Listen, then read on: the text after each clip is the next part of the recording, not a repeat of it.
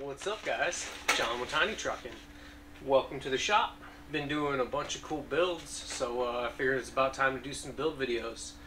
The thing I am hands down most excited about right now is the SCX6 right here.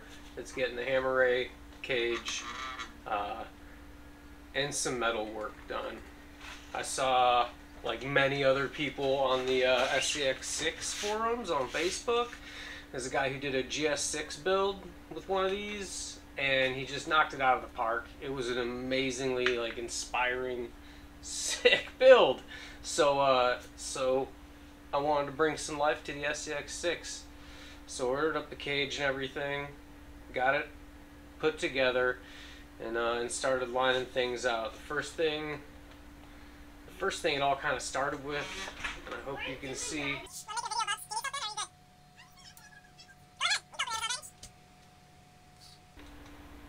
Back to the truck and the sliders.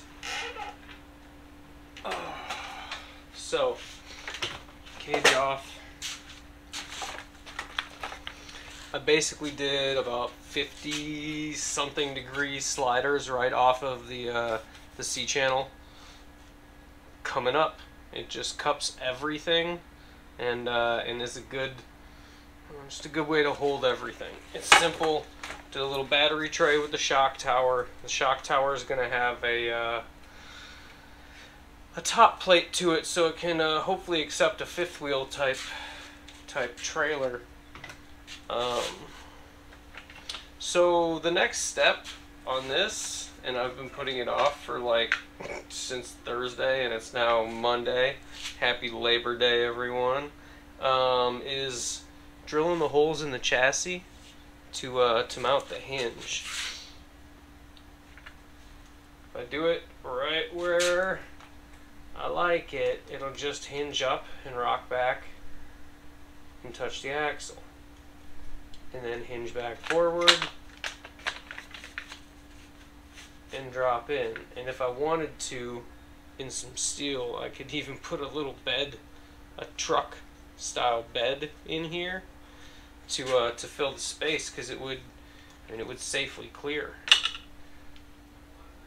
So uh, yeah, I realize that that's the next part, the next the next thing to do on this, and I've just kind of been dragging my feet. Uh, so we're gonna get to it and drill some holes and make this chassis or body hinge off the chassis. Alright, so I'm going to try to keep up with things as they're happening. We started with clamping the body to the sliders and finding that ideal centered symmetrical position. I uh, went to go mark the holes and the wheels were in the way, so wheels come off and then I use a 1 16th drill bit just to dot the hole to mark it so I can measure, double check. So I dot it, pull the cage, it was a, like a half of a millimeter discrepancy between the two so I just angled the the first hole that little bit and it centered right up. So I finished the through hole with the 16th and then followed it up with the 8th bit. I'm going to be using M3s so should go nice and easy. I had a horribly not easy time deburring the inside of the uh, C channel I ended up using a countersink, just buzzing it a little bit. So found spacers, M3s, double nutted it so I can leave it, you know, snug, not loose but not tight. Um, and I just could not be happier with how it came out.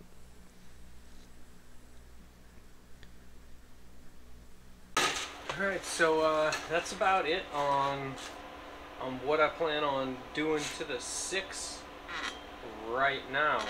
The cage hinges great. There's a tiny little snag right there where I welded and closed it. So I'm going to uh, grind a 16th out. That shouldn't be an issue. It'll go nice and easy. I love the sliders and I love the way everything fits and feels with the tolerances. Um, oh, it just closes in perfect. I'm gonna see if I can get the camera in there, show you what I'm talking about. But okay, so the steel sliders on either side hold everything. Just perfectly in place. It's, it's, it's hitting the bottom. It's all trimmed in. Just closes perfect. Might do a small magnet just to keep them in line. But the next thing I'm going to be figuring out and working out is there's a the two headlight pod um, that goes here. I need to close the frame at the front end and I'd like to make it so that I can latch the body with the grill pod.